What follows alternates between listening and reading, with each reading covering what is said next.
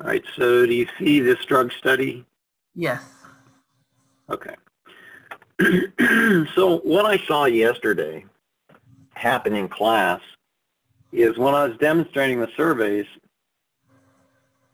I had a field, I think it was database or date of birth that is required.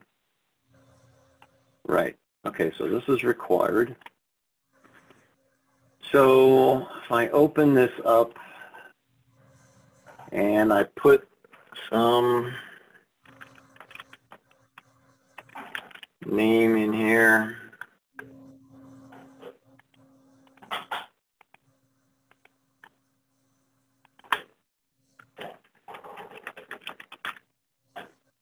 and some stuff.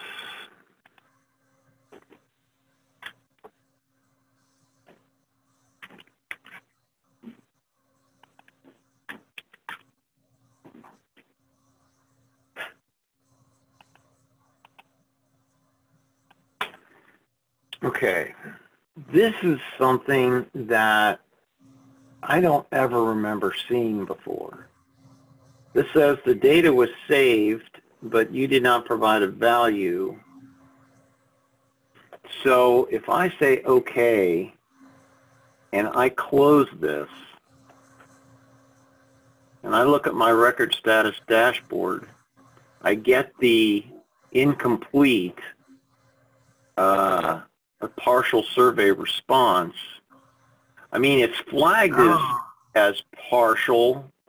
However, it allowed them to enter this, which it didn't used to do.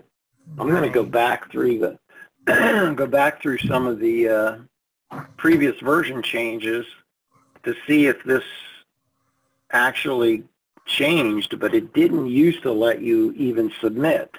Right. But I noticed in class yesterday that it did. So anyway,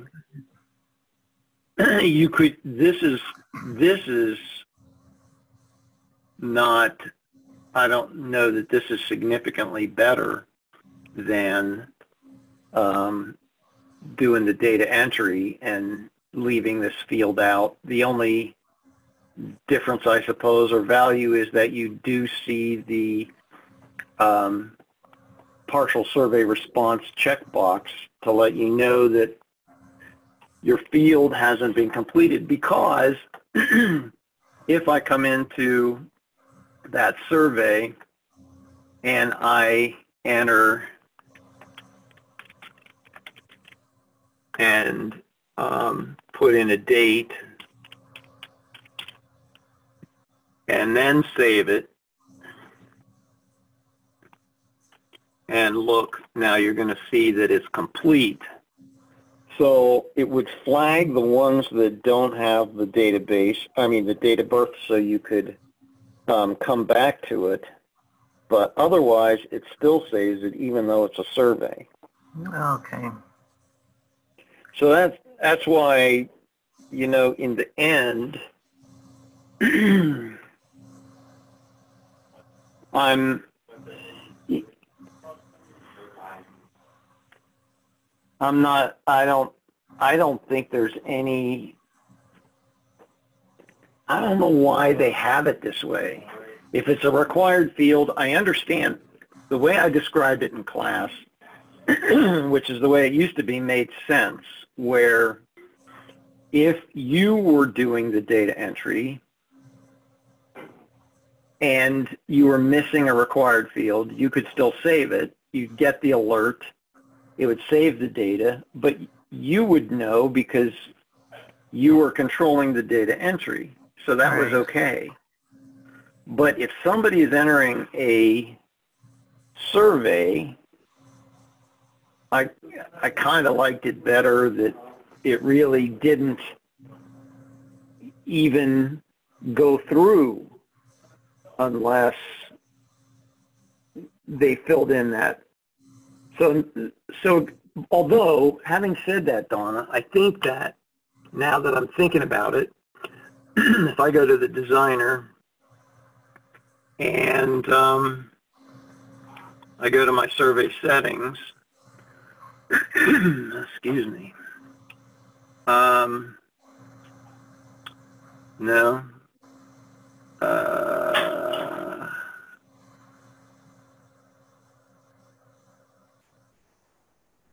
was thinking that I could require only completed responses, Hmm. but I don't, I don't see that and I really don't remember that. Okay.